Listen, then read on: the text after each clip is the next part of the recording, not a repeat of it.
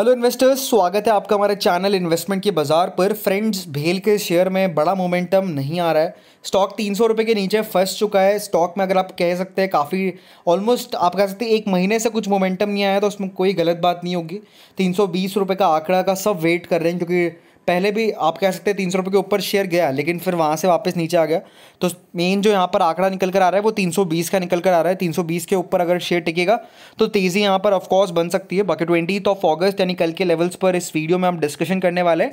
ये वीडियो सिर्फ़ educational purpose के लिए रहने वाला है तो अपने एडवाइजर की सलाह लेकर ही apply and avoid in IPO and दोस्तों शेयर के अंदर खरीदारी या बिकवाली, अपने फाइनेंशियल एडवाइजर्स की सलाह लेकर ही कीजिएगा।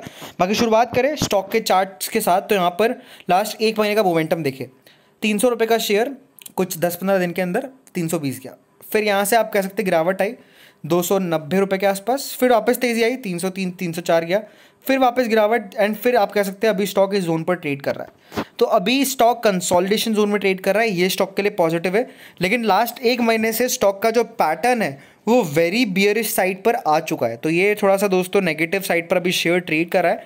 बाकी यहाँ पर अपन बात करें खबरों की तो तीन, आप कह सकते हैं तीन हफ्तों पहले दस हज़ार करोड़ का कंपनी को ऑर्डर मिला था। उससे पहले आप कह सकते हैं बजट के अंदर कंपनी को आप कह सकते हैं, भेल को बहुत अच्छा आप कह सकते हैं अनाउंसमेंट आता हुआ देखने को मिला एन के साथ बड़ा मेगा पैक्ट भेल को मिलता हुआ देखने को मिला। लेकिन फिर भी स्टॉक ने इतना मोमेंटम नहीं किया। इसके पीछे के दो कारण हैं। सबसे पहला कारण है कि स्टॉक के अंदर जो आप कह सकते हैं शॉर्ट बिल्डअप है, वो काफ़ी ज़्यादा तेज़ी से होता हुआ देखने को मिल रहा है। और दूसरा कारण है कंपनी के क्वार्टरली रिज़ल्ट जो अभी कंपनी ने अपने रिज़ल्ट पेश किए थे, वो रिज़ल्ट दोस्तों सेटिस्फैक्ट्री नहीं थे। काफ़ी सारे ब्रोकिंग हाउसेज ने सेवेंटी परसेंट का आप कह सकते हैं कट किया। लेकिन ऑन द अदर साइड काफ़ी सारे आप कह सकते हैं ब्रोकर्स ने ये भी कहा है कि अब कंपनी डेफिनेटली सुधरती हुई देखने को मिल रही है। और थर्टी फाइव परसेंट अपसाइड यहाँ पर काफ़ी सारे ब्रोकर्स ने दी है। तो आप कह सकते हैं मिली जुली सलाह भेल शेयर को यहाँ पर मिल रही है। बाकी यहाँ पर ओवरऑल आज के बाज़ार की बात करेंगे तो थर्टी वन पॉइंट्स ऊपर निफ्टी एंड एक सौ चार पॉइंट्स ऊपर यहाँ पर मिड कैप निफ्टी रहता हुआ देखने को मिला। 9.81 मिलियंस की वॉल्यूम यहाँ पर आती हुई देखने को मिली और दो रुपये अस्सी पैसे शेयर गिरा है। ओवरऑल इंट्राडे में अगर अपन देखेंगे तो two ninety nine rupees fifty पैसे का यहाँ पर हाई लगता हुआ देखने को मिला और टू नाइन्टी थ्री का लो लगा है। तो स्टॉक ने डेफिनेटली अपने लोस के एकदम बहुत करीब क्लोजिंग करी है। तो ये छोटा सा नेगेटिव सिग्नल है।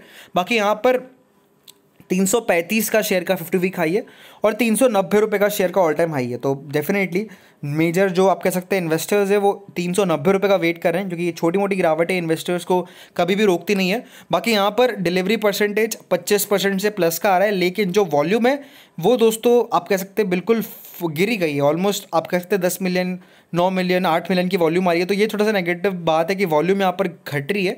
बाकी यहाँ पर ओवरऑल इंपॉर्टेंट रेजिस्टेंस की बात करेंगे तो as a earlier said intraday basis पर अगर आप कह सकते हैं, थोड़ा दस पंद्रह पॉइंट्स का मूवमेंट मिल जाए, लेकिन ओवरऑल जो तेज़ी बनेगी वो तीन सौ बीस के बाद ही बनेगी। तीन सौ बीस के ऊपर अगर शेयर नहीं जाएगा, तब तक ऐसे ही शेयर कारोबार करता रहेगा। कभी आप कह सकते हैं, छोटा मोमेंटम आ गया तीन चार परसेंट का, फिर अगले दिन गिर गया। तो जब तक तीन रुपये के ऊपर शेयर की प्रोविजनल क्लोजिंग आएगी, तब तक आप कह सकते हैं बुलिश मोमेंटम नहीं बनेगा। यहाँ पर आप देख सकते हैं सेंटिमेंट्स भी स्टॉक के आप कह सकते हैं खिलाफ ही है, क्योंकि काफ़ी सारे लोग निराश होते हुए देखने को मिल रहे हैं, क्योंकि मार्केट में प्रोविजनल तेज़ी आ रही है। लेकिन ये शेयर बिल्कुल आप कह सकते हैं मार्केट की तेज़ी के अगेंस्ट में कारोबार कर रहा है। बाकी यहाँ पर अगर अपन बात करेंगे स्टॉक के चार्ट्स की तो फ्रेंड्स यहाँ पर आप देख सकते हैं अभी मूविंग एवरेजेस के नीचे काउंटर ट्रेड कर रहा है चार्ट्स में बट ओवरऑल चार्ट्स पे आप देख सकते हैं हायर लेवल से काफ़ी प्रॉफिट बुकिंग अपने को देखने को मिली है। एंड अगर इंट्राडे इन्वेस्टर्स की यहाँ पर बात करें तो इंट्राडे इंट्राडे ट्रेडर्स की यहाँ पर बात करें तो बेसिकली यहाँ पर मैं यही कहूँगा कि टू नाइन्टी सेवन रुपीज़ का जो लेवल है, उस लेवल के ऊपर अगर शेयर जाए तो आप इंट्राडे में बाय करके चले। बाकी ओवरऑल इंट्राडे में मुझे लगता है कि 302 से 303 तक की जगह कल के दिन बनती हुई देखने को मिल सकती है। लॉन्ग टर्म इन्वेस्टर्स के लिए मैंने जो लेवल दिया है वो 320 का है 320 के ऊपर अगर शेयर जाएगा तो यहाँ पर लॉन्ग टर्म बेसिस पर तेज़ी बन सकती है। बाकी ओवरऑल मार्केट अगर यहाँ से मिड कैप इंडेक्स थोड़ा और एक दो परसेंट का मोमेंटम देता है, तीन चार परसेंट का मोमेंटम देता है तो आई एम श्योर कि ये जो लेवल है, वो भी अपने को आता हुआ देखने को मिल सकता है। अगर आपकी और भी क्वेरी तो और आप कमेंट करके बता सकते हैं। Thank you this video